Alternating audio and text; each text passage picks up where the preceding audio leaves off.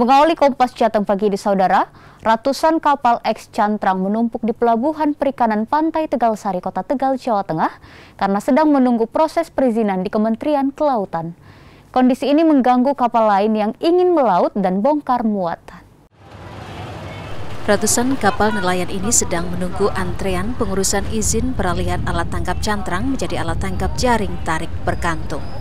Kapal-kapal yang memenuhi dermaga pelabuhan perikanan Pantai Tegal Sari menutup akses kapal-kapal lain yang hendak melaut karena nakoda harus antre berminggu-minggu untuk keluar dari pelabuhan.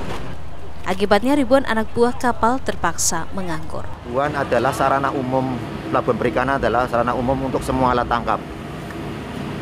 Sarana umum untuk uh, kapal dengan uh, semua ukuran GT kapal.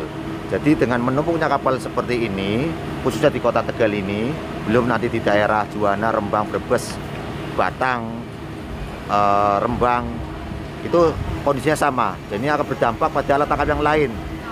Alat tangkap yang lain ketika mau persiapan melaut susah untuk akses e, perbekalan, e, bongkar muat perbekalan.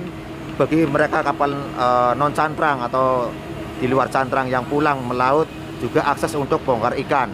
Makanya ini adalah untuk di daerah Kota Tegal sendiri terjadi kelumpuhan, kelumpuhan kegiatan ekonomi di TPI dan uh, kawasan pelabuhan perikanan.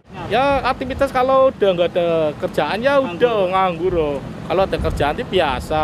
APK-nya berapa Pak? Hah? APK-nya berapa? APK semua 18. 18. Nganggur semua berarti Pak? Iya nganggur semua. Iya.